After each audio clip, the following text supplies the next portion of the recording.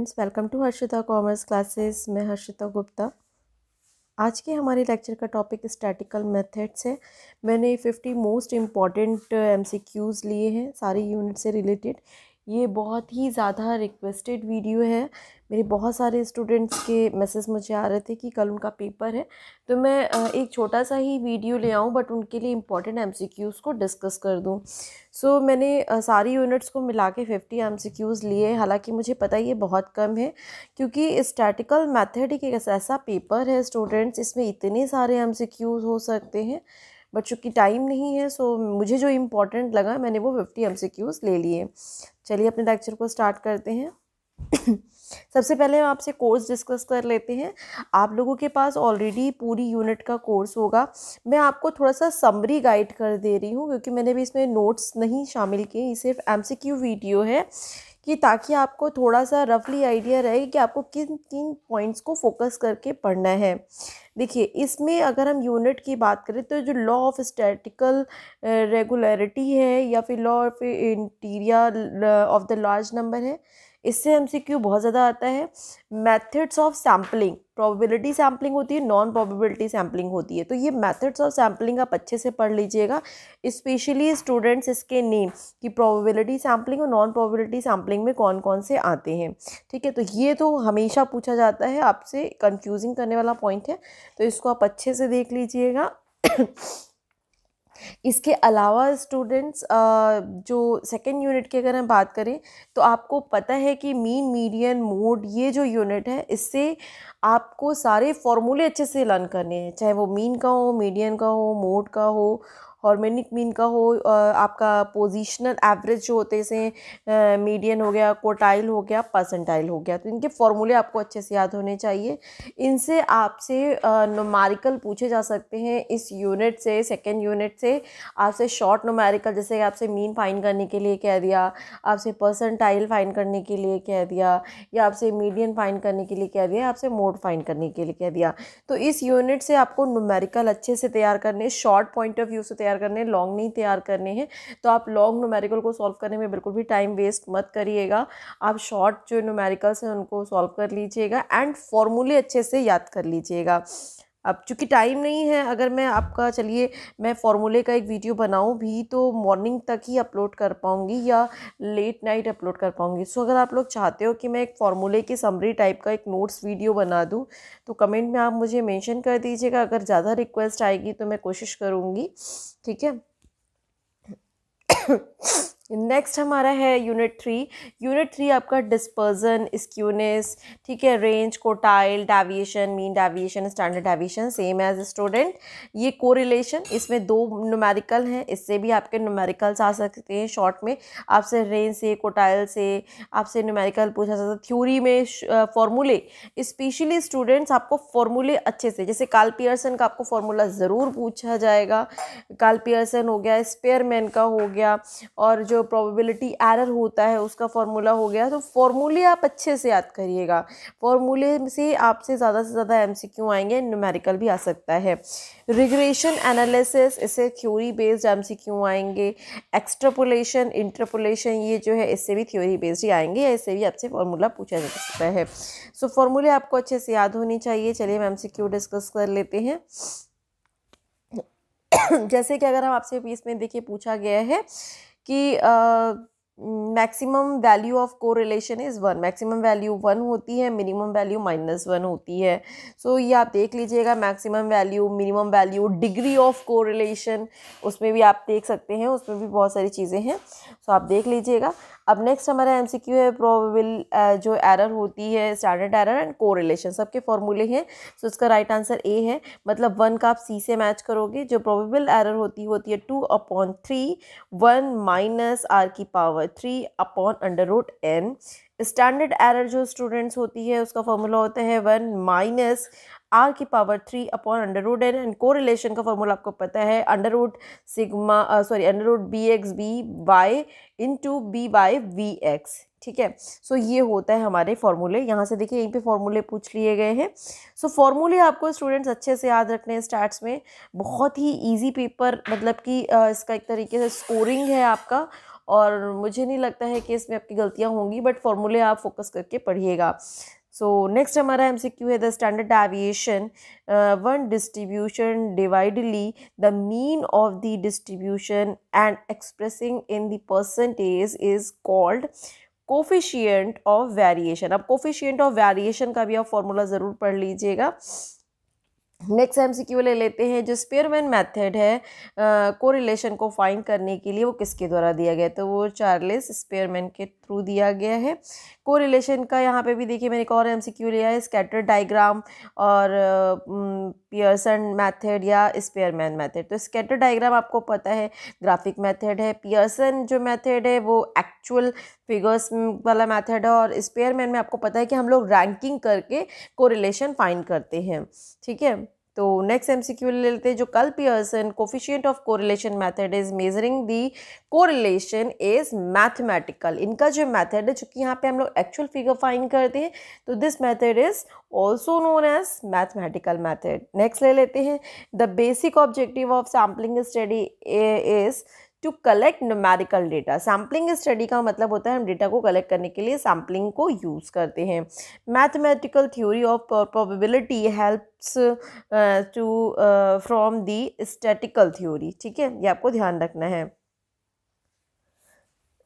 Next ले लेते हैं non proportional random sampling non proportional random sampling is sub type of stratified random sampling देखिए sampling की types आप ज़रूर पढ़िएगा स्टूडेंट्स इससे आपको से specially probability and non probability sampling आपसे ज़रूर पूछा जाएगा। आपसे तीन चार पूछ लिए जाएँगे और उसमें आपसे ये पूछा जाएगा कि कौन सी प्रोबेबिलिटी सैम्पलिंग है।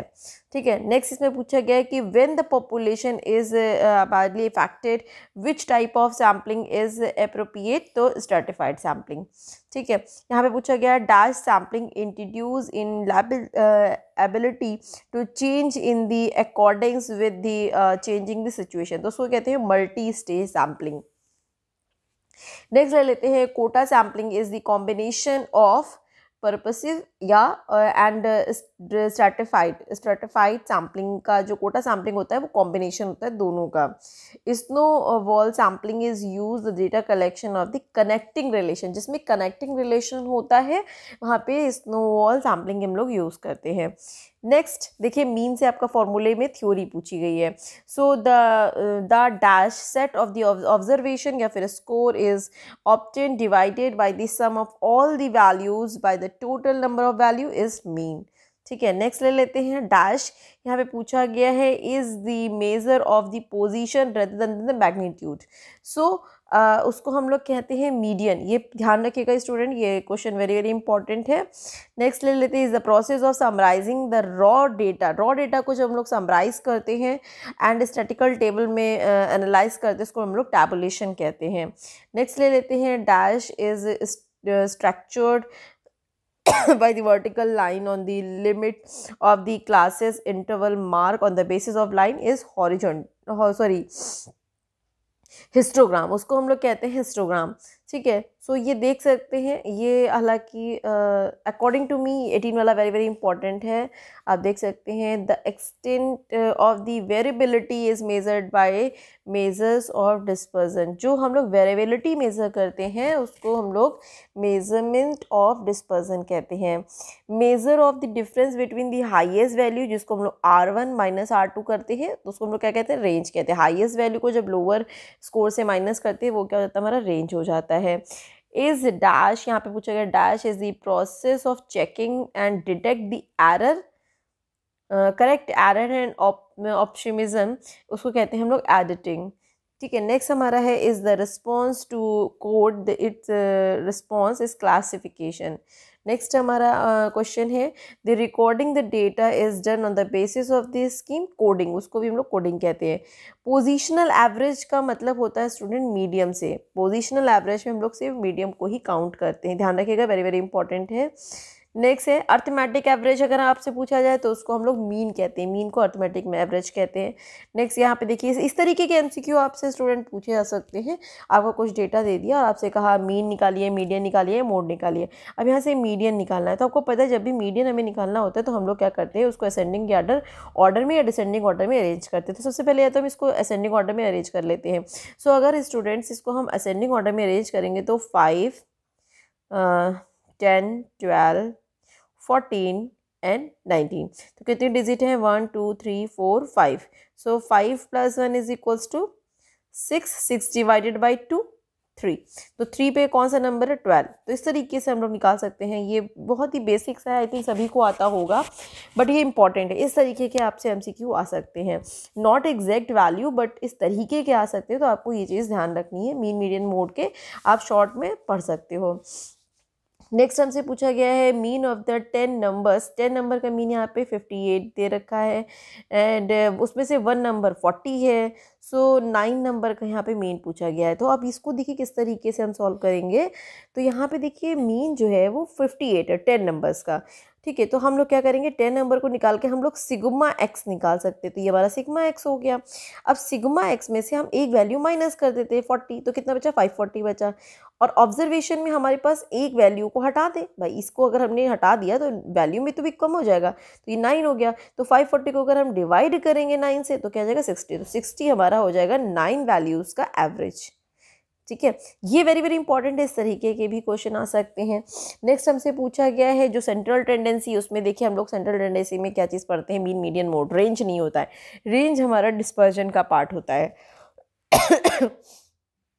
पार्टीशन वैल्यू जो होती है, उसमें हम लोग स्टूडेंट डिसाइल्स को क्वार्टाइल को परसेंटाइल को इंक्लूड करते हैं बट मोड को इंक्लूड नहीं करते हैं। ये वेरी वेरी इंपॉर्टेंट है, आप ध्यान रखिएगा। अब नेक्स्ट हमारा है any measure indicating the centre of the set of the data arranged in an increasing और decreasing order of the magnitude is called central tendency आपको पता ही है, हम लोग उसमें करते हैं सेंट्रल टेंडेंसी में करते हैं। नेक्स्ट ले लेते हैं, यहाँ पे सैंपल जो होता है, उसको स्टैटिक कहते हैं। जो पॉपुलेशन मीन होता है, उसको यू से डिनोट करते हैं एंड वो पैरामीटर होता है। When the value of uh, a series is not equal to the important उसको अगर हम लोग की जो वैल्यू ऑफ़ सीरीज़ होती है वो इक्वल नहीं होती है इम्पॉर्टेंस uh, के तो उसको हम कहते हैं वेटेड मीन कहते हैं। नेक्स्ट थर्टी टू वाला वेरी वेरी इंपॉर्टेंट है इसको आप लोगों को किसी भी तरीके से पूछा जा सकता है ये ज़रूर याद रखिएगा। जो सिमेट्रिकल uh, सीरीज़ होती है वो होती है mean minus mode is equals to three bracket open mean minus median. ये ध्यान रखिएगा, ये मीन मीडियन मोड के बीच का रिलेशन है। इसको बहुत तरीके से पूछ सकते हैं, आपको me, median is equals to करके पूछ सकते हैं, अगर मीडियम पूछा जाएगा। तो आपको, आप बुक में देखिएगा, आप लोगों के पास बुक में इसके फॉर्मूले होंगे। इसको मीडियन करके भी पूछ सकते हैं, मोड करके भी पूछ सकते हैं और मीन करके भी पूछ सकते हैं और इस तरीके से सिमेट्रिकल सीरीज़ भी पूछ सकते हैं। नेक्स्ट यहाँ पे देखिए आप पूछा गया है कि पॉजिटिवली जो स्क्यूड डिस्ट्रीब्यूशन होता है, वो क्या होता है? मीन इज़ ग्रेटर देन मीनियन एंड मीडियन इज़ ऑल्सो भी ग्रेटर देन मोड सो ये रिलेशन होता है। If the value of mean median mode coincidence in the uh, unimodal distribution uh, distribution then the distribution will be symmetrical उसको हम लोग क्या कहेंगे symmetrical कहेंगे positively skewed कब होता है जब कर्व जो होता है the curve is tail of the right end उसको हम लोग कहते हैं पॉजिटिव पॉजिटिव जब लेफ़्ट के साइड पे होगा तो उसको कहेंगे हम लोग निगेटिव ये ध्यान रखिएगा ठीक है नेक्स्ट हमारा है the ratio among the number of the item and the sum of reciprocals of the item is called harmonic mean harmonic mood का भी स्टूडेंट फार्मूला ज़रूर देख लीजिएगा। जो scatter in the series scatter in the series of the value about the average उसको हम लोग dispersion कहते हैं। The measurement of the spread of ये स्प्रेड कह लीजिए या फिर स्क्रैटर्ड कह लीजिए of the individual value around the central point के आसपास जो वैल्यूज़ होती है, उनको हम लोग कहते हैं measurement of dispersion very very important dispersion two type का होता है एब्सोल्यूट मेज़रमेंट ऑफ़ डिस्पर्जन होता है, एक रिलेटिव मेज़रमेंट ऑफ़ डिस्पर्जन होता है. एब्सोल्यूट का मतलब होता है जब हम लोग ऑब्जर्वेशन निकालते हैं मतलब measures use to calculate variation present among the observation in the unit of the variable is called absolute measurement of the dispersion और रिलेटिव कब होता है? जब हम लोग जो एवरेज हमने निकाला है, जो हम लोगों ने यहाँ पे देखिए ऑब्जर्वेशन का मीन निकाला है, उसका जब हम लोग एवरेज निकालते हैं तो वो रिलेटिव मेज़रमेंट ऑफ़ डिस्पर्जन हो जाता है। देखिए यहाँ पे दिया हुआ है भी the measure use to calculate the variation present among the observation relative to their average average होगा तो रिलेटिव हो जाएगा, अगर यूनिट के वेरिएबल्स का कॉल करेंगे तो वो क्या क्या होता है? अब्सोल्यूट uh, होता है। फॉर एग्ज़ाम्पल जैसे हम लोग देखिए R two minus R one upon two करते हैं तो this is absolute measurement but अगर इसी की जगह पे स्टूडेंट्स हम लोग R two minus R one upon R two plus R one कर दे तो ये क्या हो जाएगा? रिलेटिव मेज़रमेंट हो जाएगा। ठीक है? तो जब एवरेज कहीं पे आ जाता है तो वो रिलेटिव बन जाता है। नेक्स्ट ले लेते हैं which of the following is an absolute measurement of dispersion तो standard deviation is also be absolute measurement of dispersion अब हम बात करते हैं नेक्स्ट तो नेक्स्ट हमारा है measures of the dispersion which use only to variation is called range to variation के बीच का जो होता है उसको रेंज कहते हैं। मीन डेविएशन को compute from the set of the data is always less than जो भी हम लोग मीन डेविएशन निकालेंगे तो वो क्या होगा? जो भी डेटा होगा वो लेस देन स्टैंडर्ड डेविएशन ही होगा। ठीक है? सो स्टूडेंट्स uh, मेरी रिक्वेस्ट है आप लोगों से प्लीज़ इस पूरी स्टैट जो स्टैटिस्टिक है, उसके आप लोग फॉर्मूले अच्छे से पढ़ के जाइएगा शॉर्ट शॉर्ट नोमेरिकल अच्छे से पढ़ लीजिएगा। हालाँकि मैंने इसमें बहुत सारे टॉपिक्स नहीं कवर किए हैं, क्योंकि ये बहुत, ये ऑलरेडी आई थिंक इसमें से बहुत सारे एम हो सकते हैं। सो so, चूँकि टाइम नहीं है मेरे बहुत सारे बच्चों की रिक्वेस्ट है तो जो मुझे जो इम्पोर्टेंट कॉन्सेप्ट लगा मुझसे एक्चुअली मुझे आपसे ये डिस्कस करना था किस तरीके की प्रॉब्लम्स आ सकती हैं। जैसे स्टैंडर्ड एविएशन के फॉर्मूले अच्छे से पढ़ के जाइएगा मीन एविएशन के पढ़ के जाइएगा फॉर्मूले अच्छे से पढ़ के जाइएगा। अगर आप चाहते हैं कि मैं फॉर्मूले की एक शॉर्ट समरी वीडियो बनाऊँ जिसमें सारे फार्मूले हों और कोई भी चीज़ नहीं मिसिंग हो तो आप कमेंट बॉक्स में ज़रूर मेंशन कर दीजिएगा। सो मैं कोशिश करूँगी कि मैं रात तक उसको भी अपलोड कर दूँ। तो अगर आपको ये वीडियो अच्छा लगता है तो आपके जो जूनियर हैं या फिर जो आपके क्लासमेट्स हैं या फिर आपके जो नॉलेज में है, जिनके थर्ड सेमेस्टर है मतलब जिनका सेकेंड ईयर है, आप उनको शेयर कर दीजिए ताकि उनका कल का पेपर बहुत अच्छा हो। पेपर के बाद रिव्यू ज़रूर करिएगा अगर मेरा वीडियो आपके लिए हेल्पफुल रहे। ज़्यादा से ज़्यादा शेयर करिए लाइक करिए एंड सब्सक्राइब करिए।